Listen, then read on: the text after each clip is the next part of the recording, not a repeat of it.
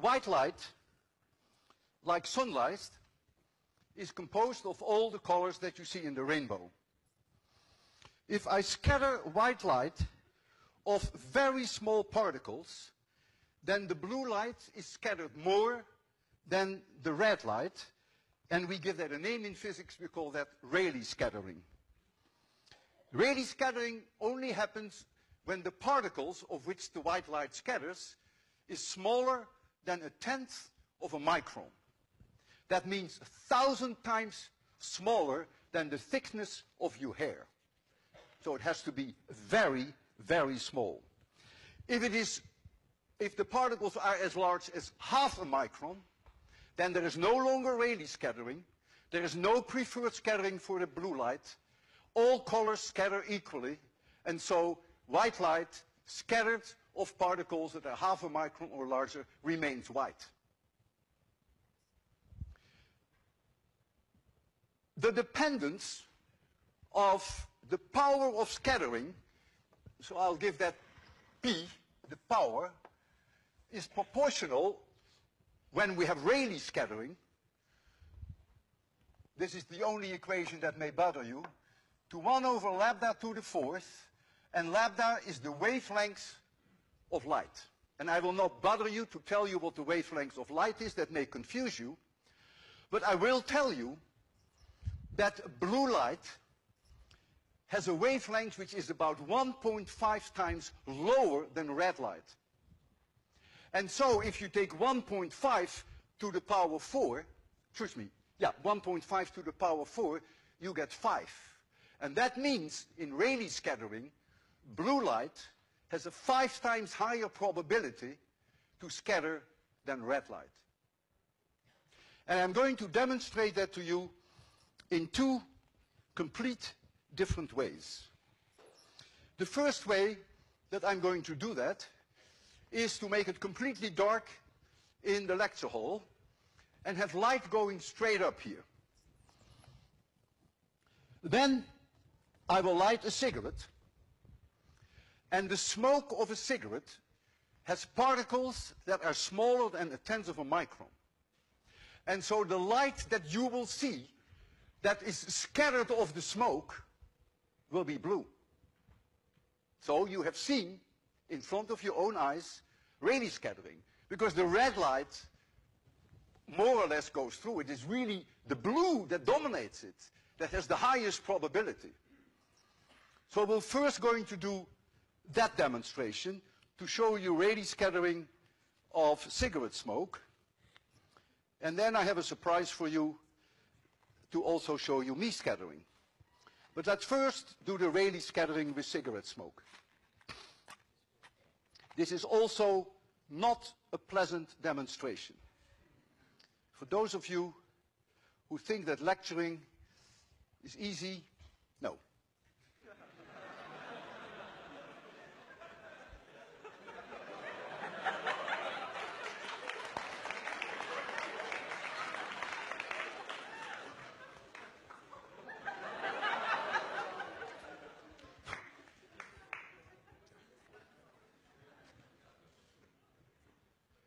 Okay?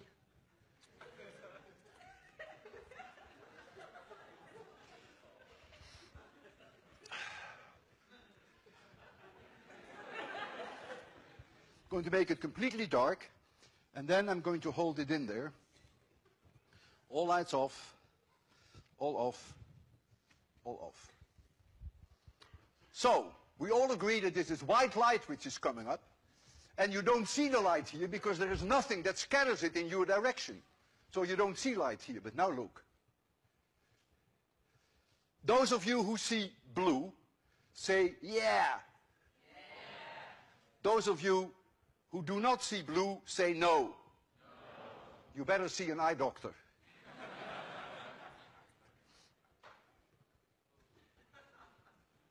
now comes the hardest part if I inhale the smoke and I leave it in my lungs for a minute, there is water vapor in my lungs, and this water vapor will precipitate onto these very small smoke particles. And so the smoke particles will grow they will become small water drops, larger than 0.5 microns. And that means, if I hold it one minute in my lungs and puff it out, you will not see blue light, but you will see white light, because you're now in the Mie scattering domain. All colors scattered equally. I will tell you that just before I puff it out, and you will see the white smoke, I will just before I do that, I will remind you of the color that you see now. I will only do that for a few seconds, then I will remove it and I will empty my lungs. Terrible demo.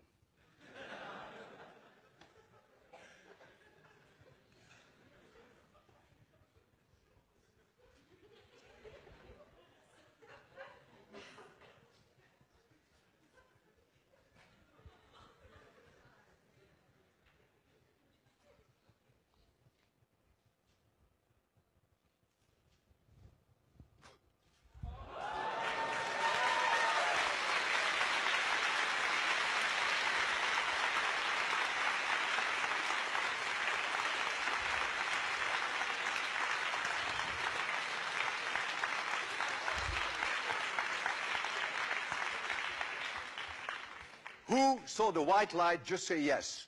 yes. If any one of you has the courage to say no, who did not see white light? Thank you.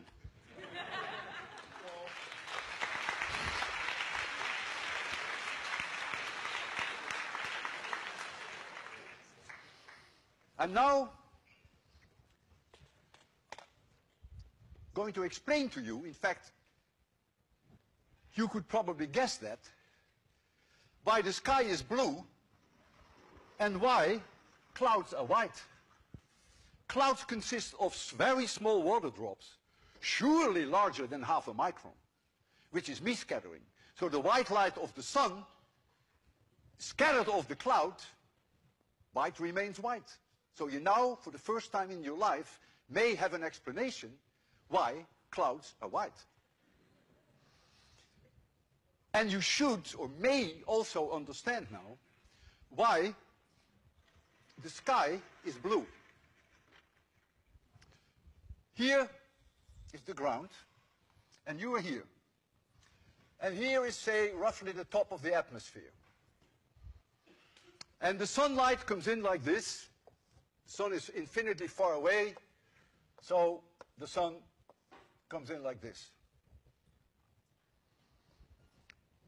The atmosphere is full of very small dust particles, smaller than the tenth of a micron, and even the density fluctuations of the air molecules themselves are clearly smaller than the tenth of a micron.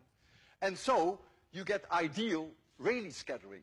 So white light comes in, you're standing here, but what is the light that comes to you? Predominantly blue. So the sky is blue. The light that is scattered here comes to you is predominantly blue. So that's why the sky is blue. And so the reason is simply that it is Rayleigh scattering of the dust particles in the atmosphere. If the sun is high in the sky, the total amount of sunlight that is scattered in your direction is only 1%, so it's very little. If the sun is 5 degrees above the horizon, then the sunlight has to travel through a lot more atmosphere. And so I take here a situation which is extreme when we have sunrise or sunset. So the sun is there and the light comes from this side and you are standing here. This is not to scale. this layer of atmosphere is now so enormously large that more than 99% of all the sunlight on the way to you is scattered away. So what is scattered away? The blue is gone. But if you look at one over lambda to the fourth, the green is gone. All colors are gone. There's only one color which has the largest wavelength, which by the way is 650 nanometers. I wasn't supposed to tell you, but I decided. so the only light that makes it through you is red. And so that is the reason why the sun looks red, and this, there is a cloud here in the sky, and that cloud sees light where all the low small wavelengths have been scattered out, and so this side of the cloud is also red. You can now understand that the more pollution there is in the air, the more beautiful sunsets are. and it is well known that after volcanic eruptions, the sunsets and the sunrises are truly fantastic. It's also the moon that is red when it comes up. And even the stars and the planets, you may never have noticed it because it's not an overwhelming thing. It is the sun that is the overwhelming thing that makes the entire sky red. And so, I have decided that I'm going to create in 26100 a blue sky for you and a red sunset. Killing two birds with one stone. And for the physicist in my audience, I'm going to kill three birds with one stone. But the third bird comes a little later. I have here a bucket which is filled with sodium thiosulfate. In this bucket. And when I turn the light on, you will not even see any light from that bucket. Nothing is scattered in your direction. I think of that as being the sun, by the way. Now I'm going to add a little bit of sulfuric acid. And when I do that, very small sulfur particles, smaller than a tenth of a micron, will precipitate in that solution. Rayleigh scattering.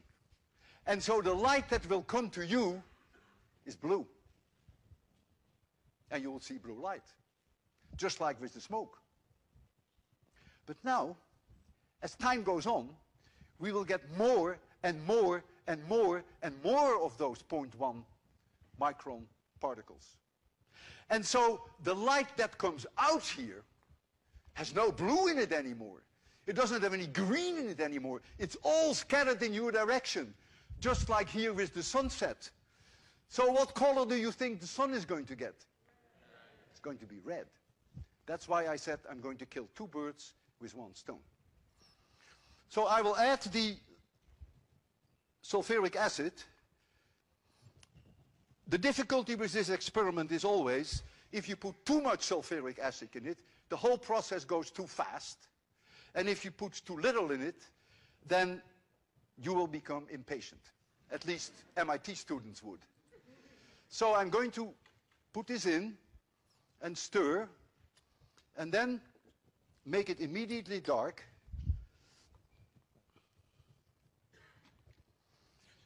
And I want you to look at the sky, which is here is the sky.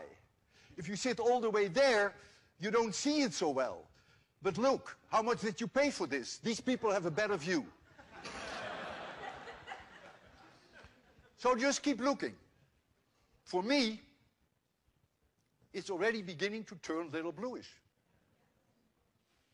We'll just give it a little bit more time. The sun looks just white, light, as it was before.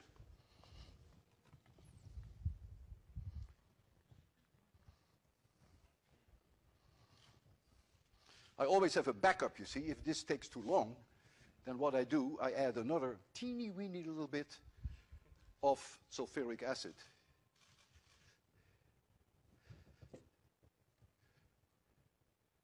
Speed up the process a little.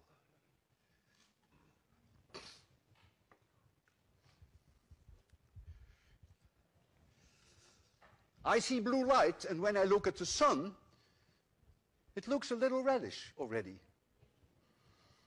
For the physicist among you, light that scatters over an angle of 90 degrees, this light that scatters in this direction, the people who pay the most tonight, who are sitting right here, the light is also linearly polarized.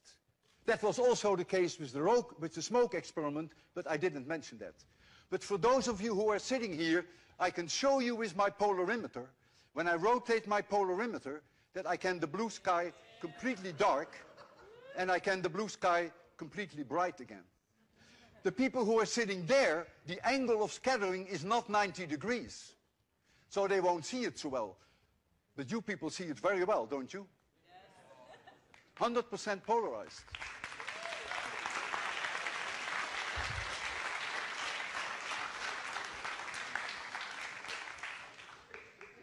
Look at that sun. Let's face it, isn't this incredibly romantic?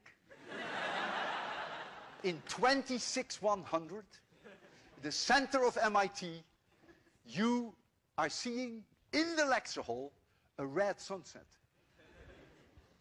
And in fact, the sun is so red now that I think the sunset is very close.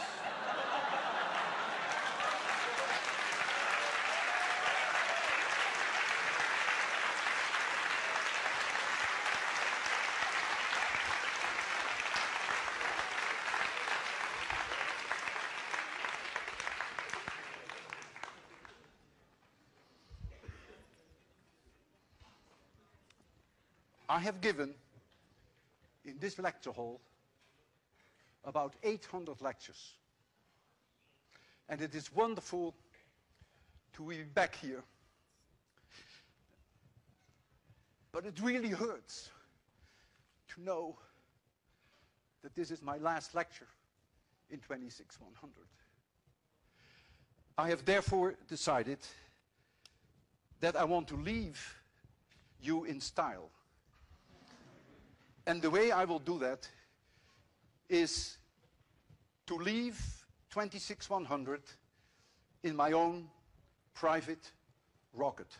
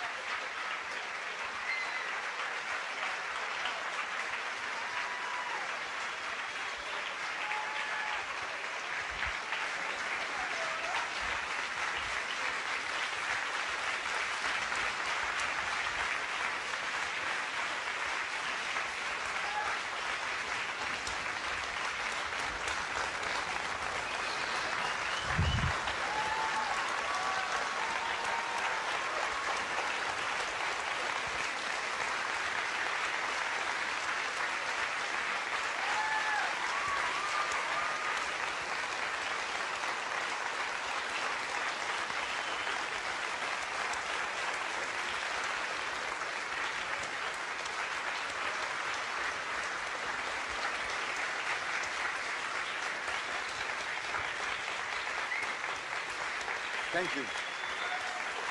Thank you.